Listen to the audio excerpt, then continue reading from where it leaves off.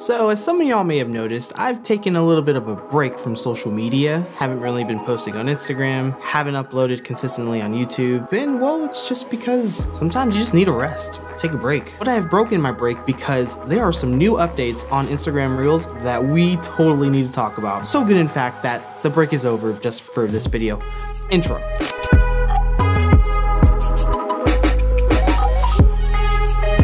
Salutations everybody, Benjamin Brandon here. Welcome back to another Instagram tutorial. I am sorry I'm not posting on YouTube. It's just, you know, you sometimes need to not. Today we're going over three new updates for Instagram Reels that were released 48 hours after the making of this video. The first one is the big one, the one that gets Reels a little bit closer to TikTok per se, and that is the 30 second video length. Instagram Reels is now getting closer to its TikTok rival, allowing us to shoot 30 second videos versus 15 seconds. Last month when Instagram Reels rolled out, and if you've seen my video on the complete tutorial about Reels, you know that we can only shoot 15 seconds on a reel, which sucked. Well, this update's pretty cool. You can just see right here, the first option, you see the 15. If you tap on that, voila, it automatically turns into a 30 second reel so then once you start recording, you'll have more time length up here and you can see on the very top right there, the amount you have, which is also a new thing by the way, the amount of uh, video length that you have left on your reel. Pretty cool. I do like the fact that it's literally one button and it allows you to create a 30 second reel or even a 15. I personally enjoyed the 15 second window for a reel. I just felt more creatively challenged to try to create a concept or a story in 15 seconds.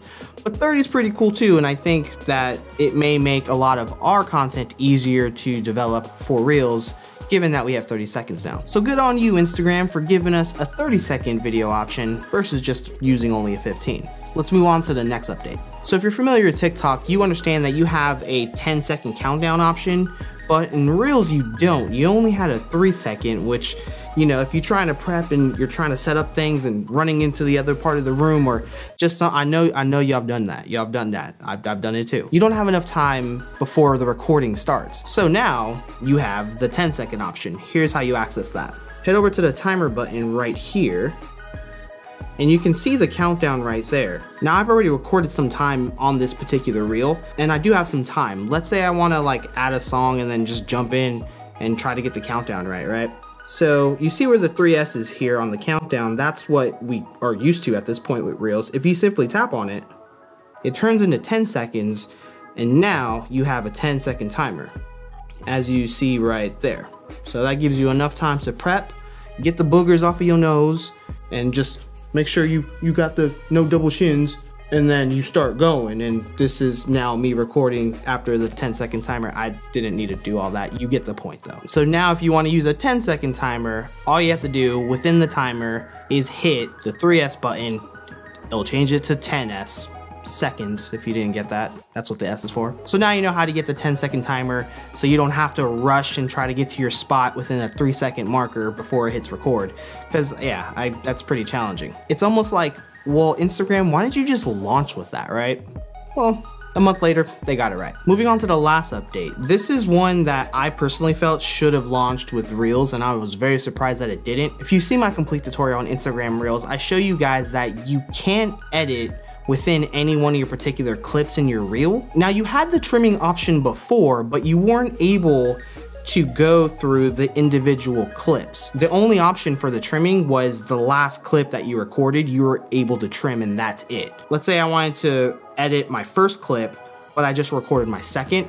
I had to delete my second clip to go and trim my first clip. Like, what? So this gets rid of that. So I can, let's say, trim here. So I got some dead air. I'll stop there with my weird face, hit trim.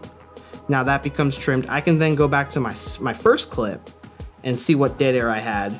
And I can, maybe if I wanna stop here, I can then trim that. And there you go. That is super dope. Instagram, y'all should have just gave this to us before you launched, I'm just saying. But hey, Instagram's coming in the clutch. A month later after Reels, they're already giving us an update to make life easier for us because they know that Reels is a big deal and it's something that they really want to become successful. So they need to make it easier for us creators to put out that content that they're so desperately needing. So get after it. Reels is still pretty good organically. Right now it's ranging about the 20-25% organic rate pretty good, at least in comparison to like a video post, which is like 10%, 8% maybe. But I am curious, what do you think about these new Instagram Reels updates? Do you think it's getting closer to becoming a true rival to TikTok? I personally think they're getting there. We all know that TikTok video length is a maximum of one minute. I don't know if Instagram's gonna get there because if you think about it, you can post a one minute video on Instagram right now. It's called a feed video. If they do that to Reels, you may kill the feed video option. Like, you know, it's a give and take, it seems like. Plus anything over a minute belongs to IGTV right now. So what do you think? Let me know in the comments below. Thank you so much for tuning in. It's been a minute. I will probably take another break and hiatus, so be on the lookout. Hit the subscribe button and notification bell so you know when I upload because yeah, it's gonna be in this time now where I'm just gonna upload when I'm able to, but I'm not gonna strain myself to try to put something on YouTube. It's not been a good look for me lately, so I'm gonna upload when I feel I have something super valuable that y'all can have and take for yourselves. But I'm not just gonna try to create a video to create a video. I think I'm done with that life. So yeah, follow me on Instagram, DM me, let's connect, and I, my beautiful vert friends, will see you on the next one. That notifications though. You don't know what the next one's gonna be. I don't know what the next one's gonna be. Peace.